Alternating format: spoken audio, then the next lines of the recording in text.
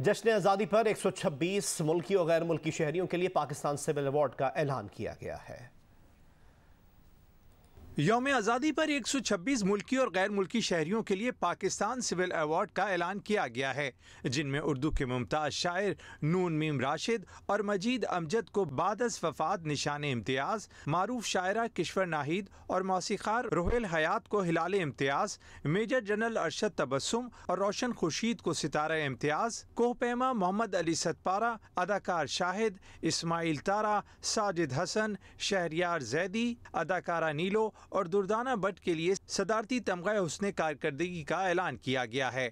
अदब से वाबस्ता मदद अली सिंधी, रफत अब्बास, अयाज गुल और ताहिर आफरीदी को भी तमगा हुसन कारकर्दगी से नवाजा जाएगा।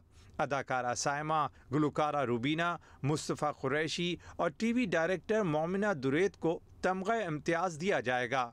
पाकिस्तान के लिए खिदमत पर क्रिकेटर डैरन सैमी, मजहबी scholar Sheikh Ahmad bin Hamad Al Khalil Malaysia के Mohammad Azmi Abdul Hamid, Japan के टाका मत्सू को सितारा पाकिस्तान देने का ऐलान किया गया है। इंसानी हकूक से मुंसलिक, ऑस्ट्रेलिया के डेविड शोबुच को तमगा कायद आज़म से नवाजा जाएगा।